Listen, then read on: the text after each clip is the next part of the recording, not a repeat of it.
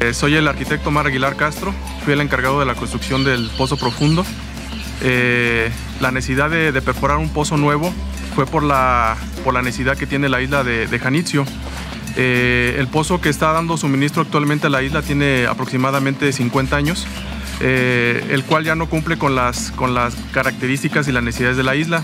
esto originó la perforación de un pozo nuevo el, cual duró aproximadamente dos, meses en, la construcción. buenas tardes, yo me llamo Elvira Castro Guzmán, soy de aquí de la isla de Janitzio. Este, pues sí, la verdad sí se necesitaba a lo mejor otra bomba de agua porque sí, a veces sale sucia, a veces limpia, depende pues que hagan la limpieza también de la bomba. Que el agua es la vida, que sin agua no podemos seguir más adelante pues.